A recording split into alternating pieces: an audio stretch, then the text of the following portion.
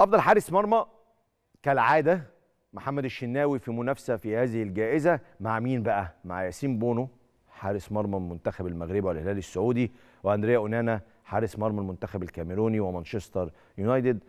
طبعا الشناوي رائع وعظيم وكل شيء وعمل موسم عبقري الموسم اللي فات ولكن برضه رابع العالم دي تقيلة قوي يا جماعة حلوة قوي بصراحة. فياسين بونو هيبقى ليه أفضلية طبعا منطقية يعني ياسين بونو هيبقى ليه أفضلية. رابع العالم رابع العالم كبيره يعني. وكان له دور مؤثر جدا مع المنتخب المغربي كمان. طيب أفضل منتخب بيتنافس عليه المنتخب السنغالي والمنتخب المغربي والمنتخب الجنبي؟ دول الثلاث منتخبات اللي بتنافس على الأفضل. ده بالنسبة ليه المنتخبات. أفضل نادي كالعادة النادي الأهلي ينافس مع الوداد وصن داونز. جيش تقول لي بقى الأهلي مش هياخدها. ما فيهاش دي. كده كده هياخدها هياخدها. ليه؟ مش عشان حاجة والله. الوداد واصل فاينل دوري أبطال أفريقيا ولكن الأهلي هو اللي كسب دوري أبطال أفريقيا. صن داونز فرقته حلوة قوي قوي بس ما خد ما فيش لقب. يعني هو اللقب اللي خده اللي هو بتاع الدوري الافريقي بس يعني مش مش مش دوري أبطال أفريقيا يعني. في كل الأحوال تصوري الأهلي هياخد أفضل نادي. ده ده كله ده توقعات كلنا بنتوقع يعني. ناخد توقعات أخرى من زميلنا المميز دوما حمزة شتيوي الصحفي المغربي قبل إجراء حفل جوائز الكاف بساعات. يا أستاذ حمزة مشرف ومنور على التلفزيون المصري برنامج رقم 10 أهلا بك زميلي وأخي العزيز المميز دائما كريم واهلا كذلك بكل مشاهدينا الكرام وسعيد دائما بالتواجد معك رأيك إيه في الترشيحات ترشيحات جوائز الكاف من حيث المبدأ؟ يعني قبل ما أقول لك توقعاتك للفائزين.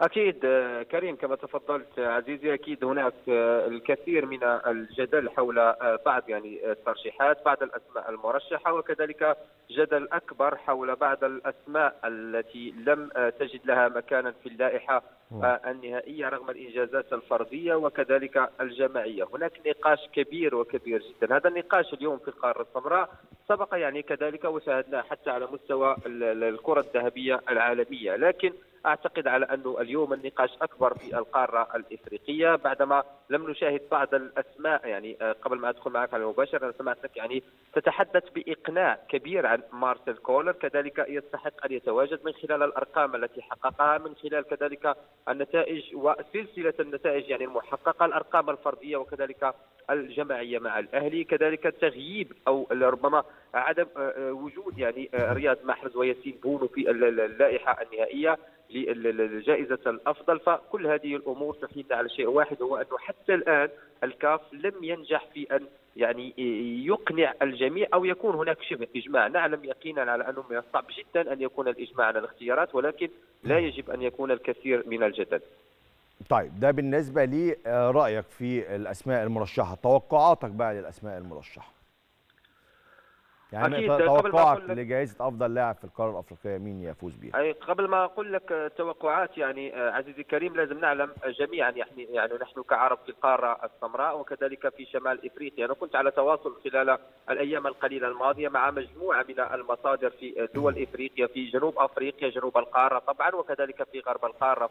فهناك تعصب يعني كبير وكبير جدا ل يعني الدول السمراء في القارة الأفريقية عكس دول شمال شمال افريقيا وكذلك مصر. فاليوم إحنا عرب القارة الإفريقية لا نجد تلك التمثيلية الكبيرة في التصويت وبذلك من الصعب جدا أن يكسب الجائزة مثلا لاعب عربي من القارة الإفريقية. قبل أيام يعني كنت في حديث ودردشة صغيرة مع جير بينيو النجم السابق للكره الايفواريه قال بالحرف الواحد على أنه يرى على انه اوسيمين هو المرشح الأبرز للتتويج باللقب. بالنسبة للتوقعات أتوقع بنسبة كبيرة الآن على انه عدم وجود يعني ياسين بونو في اللائحة النهائية ربما الكاف أو ربما التصويت يعني مهد الطريق لفيكتور أوسيمين؟ لأنه على مستوى الأرقام الفردية وكذلك قيادته لممثل الجنوب الإيطالي نابولي للتتويج بالكالتشيو هداف الكالتشيو بنسبة كبيرة مع منافسة كذلك من أشرف حكيمي ومحمد صلاح. لكن أرى كقراءة شخصية قد أصيب وقد أخطئ على انه فيكتور أوسيمين يقترب أكثر من نيل هذه الجائزة. عزيزي. في المقابل الجائزه جائزة أفضل حارس من وجهة نظرك هتروح لياسين بونو بنسبة كبيرة جدا يعني ياسين بونو.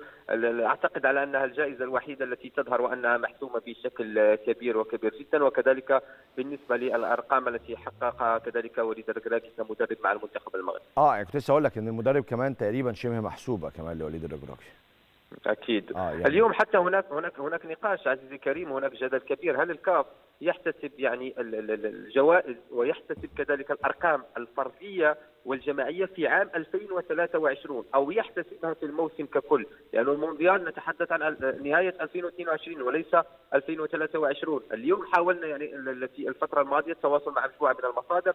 اللي وصلنا اللي وصلت إليه يعني شخصيا هو أنه اليوم ال- ال- ال- الكونفدرالية الإفريقية لكرة القدم تعتمد يعني ال- ال- الموسم ككل وتعتمد كذلك المونديال كقيمة لأنه من الصعب جدا أن تتجاهل آه، يعني مسابقة كبيرة من قيمة كأس العالم. صحيح. أستاذ حمزة شتاوي صحفي المغربي أنا بشكرك شكرا جزيلا قبل ساعات من حفل آه، الكاف لجوائز الأفضل عن عام 2023 طيب.